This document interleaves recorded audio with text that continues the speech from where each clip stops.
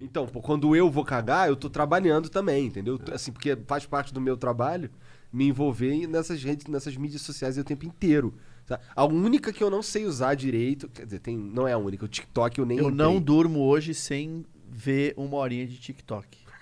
É, virou Tu rotina. não tem vergonha Sério de mesmo? falar isso? O quê? Muito legal. E, e ele realmente, o algoritmo dele, Ah. cara. Agora quase que aparece quase tudo de COD Warzone, os videozinhos. Videozinho de, de dancinha, não Mini sei o pônei quê. e- Não aparece mais na minha timeline. É. Aparece, é, meu, COD Warzone, aparece de dos caras brasileiros que eu sigo, tudo mais. Assim, em muito pouco tempo o algoritmo entendeu exatamente o que, que eu gostava de ver. E, cara, é isso. Aí eu vejo uns puta highlight legal do jogo, umas coisas assim. Então o argumento dormir. é que o algoritmo do TikTok é muito melhor, muito bom. Cara, é, é bom.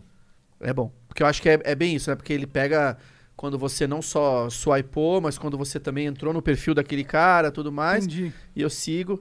Cara, tem um que é fantástico, que é o que é o Bonossauro. Ah, O cara joga o Warzone falando como se ele fosse o Bolsonaro. caralho. É demais, cara. Eu sou fã dele, eu sigo ele, olha, ele jogando. E aí depois ele foi jogar, ele passou, ele fez uma temporada no Fortnite. Caralho. E aí ele foi Bolsonaro, só que de repente ele trombou, ao invés com a galera do COD, que era o, enfim, o- a turma alfa, vamos dizer Aham. assim, e trombou com a garotada do, do, do Fortnite. Então ele teve que. É um Bolsonaro light que ele teve que fazer pra poder engatar no jogo lá. Foi muito engraçado, Caralho, muito cara. engraçado. Então tem muito conteúdo de game no TikTok? Porque eu pensei Tem. que era só dancinha mesmo. Não, eu não cara, sei, achei que não. era. A dancinha vai continuar no seu timeline se você continuar pirado e olhando lá e querendo seguir aquele pessoal.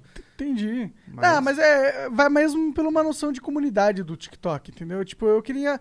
Eu não consigo entender ainda quem é o usuário-chave dessa parada.